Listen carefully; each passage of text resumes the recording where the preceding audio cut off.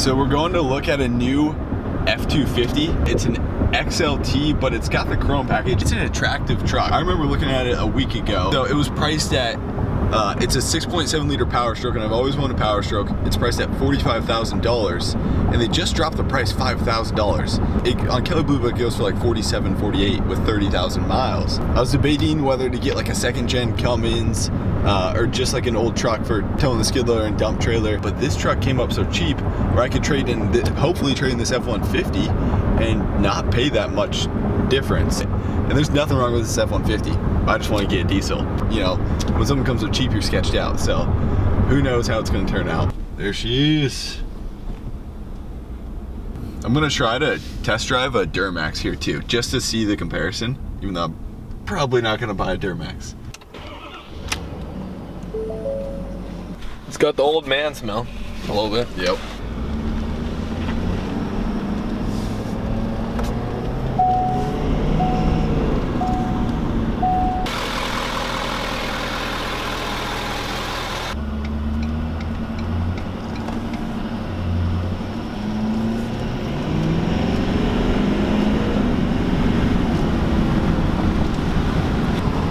Brake and the gas pedal are so far apart. It's almost like Ford doesn't want you to push on the gas pedal.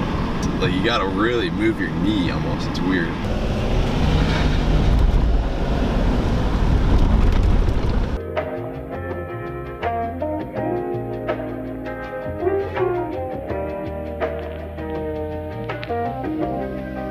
So I ended up buying it, and these next clips are like five days after we bought it and after I've drove it a little bit. Well, here she is, a 2017 F-250 Power Stroke. You guys know in my videos, like in farm sim, I've been saying forever, I've wanted a new aluminum duty. I'm surprised with the chrome package that they wouldn't have a chrome, uh, these chrome front bumpers right here. The Lariats have, have these chrome. And like, I like the lariat look of it, so I was thinking about paying like 300 bucks and buying a new, just a new front end kit to get these chrome. You might as well have them since they're a chrome package. In like a couple days, I actually got new tires coming on here. They're the exact same. I didn't want to go too beefy tires because like a lot of people say they like need it for off-roading, but I don't go off-roading. I don't care to take this truck like crazy off-roading, you know. Dual exhaust. Now a lot of you guys are gonna be like, dude, squad, delete this, tune it, man. Let it roll cool. Right now, for like the first year until we hit until the warranty's gone I'll probably keep it keep it stock I've thought about deleting and tuning it also I don't I, I don't really care for a crazy loud truck at all. Like I heard a Duramax the other day driving and you could literally just hear the turbo going every single second even when we were just going cruising 30 mile an hour. Like it's cool but I feel like that would get super annoying. It doesn't have a bed liner or spray and bed liner. So what I was thinking about doing is just getting a mat like I did with my old truck. Spend a hundred bucks, just get a nice mat to cover it. There's a light in the back. Gotta figure out how to run that light. It's like an aftermarket light that he installed. It's a six and a half foot bed though, so you can fit two dirt bikes with, uh, you should be able to fit two dirt bikes with close to the door. We got the power extending mirrors my other truck, the F-150, was cloth too, besides it was a black cloth. And so I thought the black looked really nice inside. I don't like this cloth as much as I like my black cloth. Oh, okay, so I ordered a steering wheel. So right now, this is like kind of the rubber XLT steering wheel. And I ordered the Lariat steering wheel for 200 bucks. And me and Bo, Abnormal Garage, if you guys know him, we're gonna install that. And so it'll be a nice leather steering wheel. I just, I've touched the leather F-250 steering wheels. They're so much nicer. So I was like, 200 bucks, let's do it. Let's upgrade to a nice leather steering wheel. At this point, I probably should just get the Lariat package. It came with the WeatherTech floor liners, which are nice. Besides the back ones are a little messed up. We gotta work on that a little bit. Ones, I think what, this is supposed to like fold down to here to cover this, but these are all messed up now and they like fold up like that. So what I'm gonna do is just take snippers and just cut it right here and we'll just leave this part open most likely. But it's got these that will fold up here. Oh. And then these come up and then you got your box here, which is nice. And then you can store all your crap.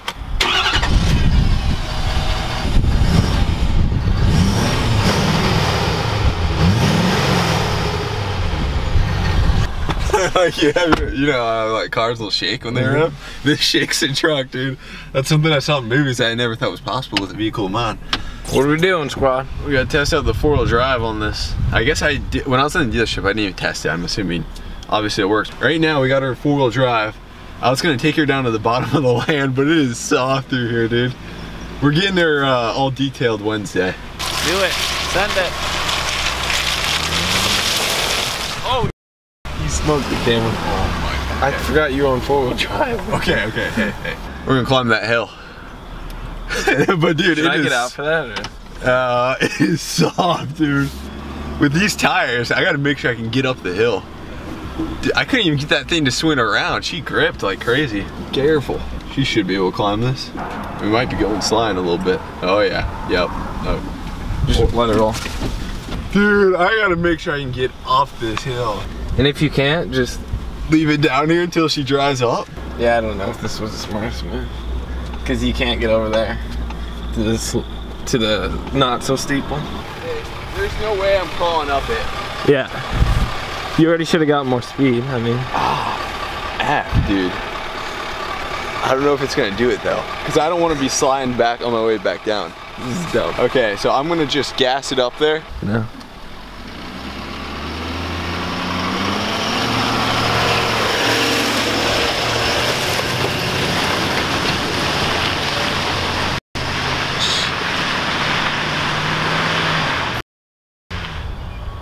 Oh no.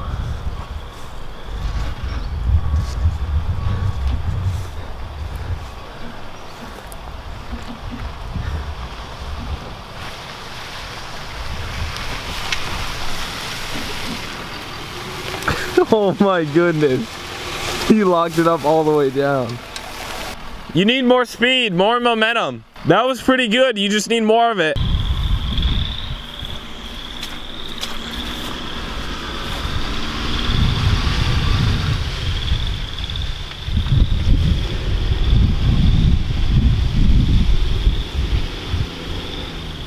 My original thought was, hey, just go down this hill and then we'll turn around and then we'll just crawl back up the hill. See the torque of the truck, right? But I didn't realize how greasy this hill actually is. And so I didn't want to give it another try just yet because it would tear up the hill. I tore up that hill so much, so it was so slick uh, just doing that one time. So we are going to reroute around to a hill that's less steep. But to get there, you got to go through some mud. And so it was a horrible idea just moving over to this hill.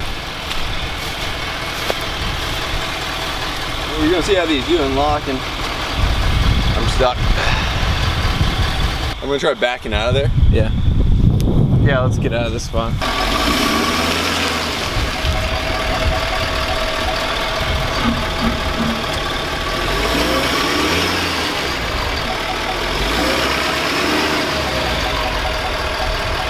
I don't go off-roading. I don't care to take this truck like crazy off-roading, you know. So right now the truck is buried at the bottom. We got it stuck really deep because we were trying to reroute and then we took the four-wheeler. We were able to pull it out with the four-wheeler, uh, but the hill we were trying to make up is just a little too wet.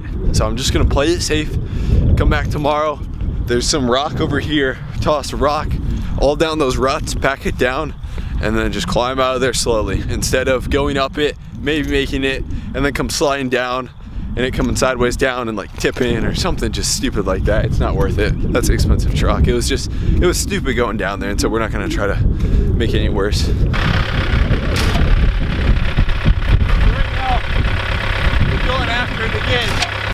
Probably should have shut off the tractor because you guys can't hear me at all. But what we're doing is packing down those ruts with that rock and hopefully, you know, it'll get some grip and just climb right up there. That's the plan. Whenever you're trying to impress YouTube, you always screw up. This is a YouTuber's dilemma right here.